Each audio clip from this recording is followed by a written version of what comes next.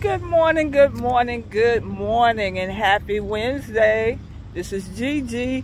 Finally got on the track this week. You know, yesterday it was raining. Uh, Monday, we were getting ready for a parade. And so this is the first day this week I've really gotten out here on the track. I love actually coming out on the track and just breathing in the fresh air and just enjoying nature, actually. Um, but this is the day that the Lord has made, and we're rejoicing and we're glad in it. A little cooler today, um, but nice. You got to have a jacket on. Um, but I have a GEM nugget for today because lately I've been thinking about the power of our words. I, I don't think we realize just how powerful what we say how powerful our words are, even if we say them to ourselves. Not just saying it to other people, but what we say to ourselves. You know, uh, last night I taught the Sunday school lesson, God Reigns. And it talked about, the first verse was um, in Isaiah 52, 7. How beautiful are the feet of those that bring good tidings of good news, that publish peace, that publish salvation, and declare that God reigns. And we discovered that the good news was not just a good message that went out to the other people, but the messenger themselves um, are, are better for giving that good news. And uh, there was a very interesting comment. I really enjoyed the comment because the person said, yeah, I do, I feel better. I have changed since I have been sharing the good news of Jesus Christ. And I, I was just thinking about that because my GEM nugget uh, for today is speak change, life, and faith. You know, um, one of the one uh, one powerful tool uh, that helps us is speaking affirmations. An affirmation is a positive saying that you can say uh, about yourself. And you know there's power in those affirmations. You know, Joel 3.10 says, let the weak say that I am strong. And some people have even taken it further. Let the poor say that they are rich. Let the sick say that they are healed. And you know, uh, at one point I'm saying, well, are you telling us to lie about our condition? You know, when you're feeling weak and you're saying you're strong, if you don't have two dimes rubbed together and you're saying you're rich, if you, you're feeling um, um, sick in your body and the doctors told you that you have a disease, are you saying I'm, I'm, I'm healed? Well, it's just a matter. No, it's not lying. It's not wishful thinking. Guess what? It's the power in your words and it's faith. You know, I think about the ant. The ant can carry a hundred times more of its weight and you know, one one time, it's been many years ago, I witnessed this for myself. I saw a potato chip moving on the floor. And I thought I was seeing things.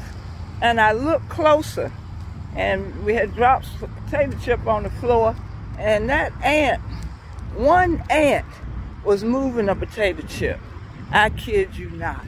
Now, how about if someone had put in that ant's mind, oh, you can't do that.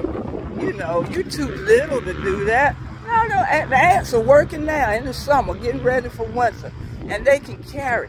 But when you say it, things change. And just the opposite. You know, my, my GEM nugget, like I said, is speak change, speak life, and speak faith.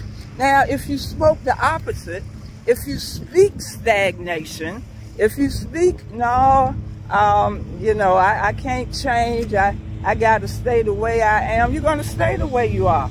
If you speak death all the time, things are going to be death all around you. If you speak doubt, which is the opposite of faith, you can't go nowhere. You know, So we need to speak change. We need to speak life. We need to speak faith. Yeah, I'm not strong right now, but if I keep on speaking it, I can become strong. I can do anything through Christ that strengthens me. If I speak life, just like um, uh, Romans 4, 17, it says, call those things that are not as though they were. You know, it doesn't look what, you know, when you speak things, if you speak it enough, it will manifest into what you say through the power of Jesus Christ. I know I'm right. I know I'm right.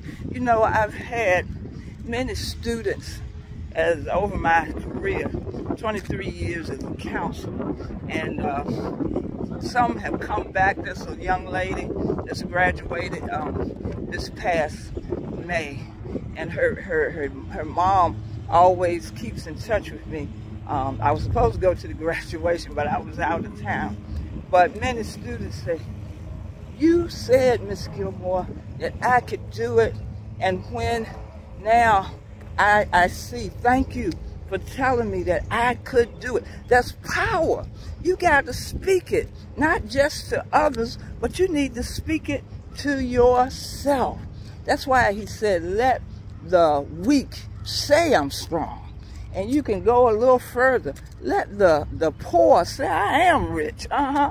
Let the sick say that I am healed. I am well. Do you notice a lot of times you sometimes maybe you might go to the doctor for maybe a, a, routine physical or something like that and you'll feel fine but if the doctor gives you those dreaded words you have cancer or you have this you actually start feeling bad even though before you probably felt fine but there's power in those words you know, I, I think we um, say that people have mental illness too much. Because if you tell a person that they're, you know, this and that for a long time, they're going to start believing that and they'll start acting that. Oh, you, you, you retarded. I hate um, grown folks or adults or parents tell kids, you're stupid, you'll never do this, you'll never do that, because they internalize that. You just like your mama, you just like your dad, especially if it's in a negative tone. Oh no, you're speaking negativity into that child or into that person. But there's power in your words. My last verse that I like is to speak faith because it says, if you say to the mountain, move from here to there, it will move by faith because you have the faith that's just the size of a mustard seed. You know, those three verses have something in common. Joel 3.10, let the weak say. The power in speaking. Call those things that are not. Calling, you are speaking something. Call those things that are not as though they were. And Matthew 17.20, speak to the mountain and it shall be moved. Oh, I'm telling you, there's power in your words. So you need to speak change. You need to speak life. You need to speak faith. You know, just like my hat. I love this hat that they gave me. You got this. Now, right now, you say, no, I ain't got it. But if you keep speaking it, you will eventually have it. Whatever that got uh, whatever that this is, you can have it. But if you speak it, you got to speak it. You got to speak change. You have to speak life. And you have to speak faith. Try it and watch things change for you. You know, one of the last things I like to mention, one of the best set of affirmations that I heard was from the movie The Help Viola Davis is speaking to her little girl because Viola Davis plays the black nanny and she's taking care of a little white girl. And every day, every day she says to the little girl, and this is not good grammar, but this is what she said. You is smart. You is kind. You is important. I love that. We need to say that to ourselves every day. I am smart.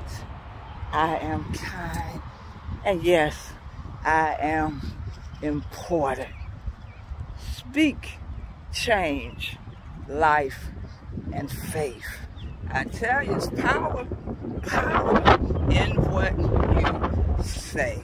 Oh my goodness. I want to thank those of you that joined me for Church School Live. If you missed it last night, it was a powerful lesson about God reigns and how beautiful are the feet of those that carry good tidings of peace and salvation and the fact that God reigns. All right, don't forget, speak, speak it, speak it, speak change, speak life, and speak faith. Y'all be blessed. Bye.